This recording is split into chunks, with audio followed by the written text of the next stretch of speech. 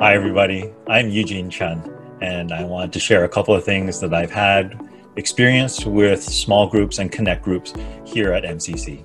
With this recent restrictions that we've faced, um, it became all the more evident to me that it was important to have a connect group. I, am a high school teacher, and I use video conferencing every day and all I see are little circles with initials in them. I don't see faces, nor do I have a lot of communication with the students. It's either they text the question to me, even though their microphones work, or um, they don't ask at all. And even though I work in a field where I am interactive or interacting with people on a daily basis, I feel so disconnected.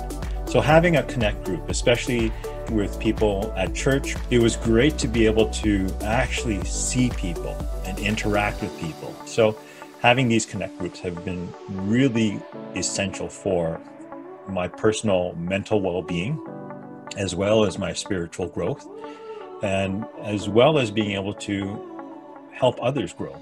It's been amazing to actually put a face to a name. Um, the reality is, you know, some of these people have befriended me and I've befriended them on social media. And now we follow each other on social media. Again, another digital platform, but now we're connected and almost feel like family. Connect Group affected me um, in a sense of giving me some type of stability to depend upon.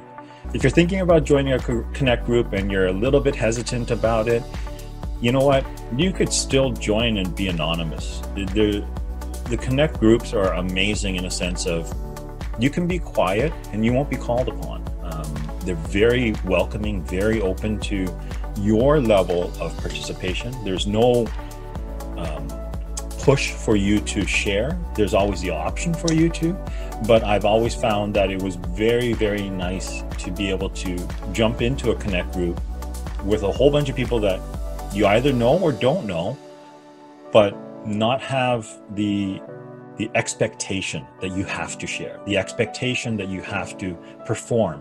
It has been a great opportunity just to to be who you are. Much like how God calls us to come to church, be who we are because he loves us. And so it gives us an opportunity to be part of a community to share, to love and be loved by one another. Just do it. no.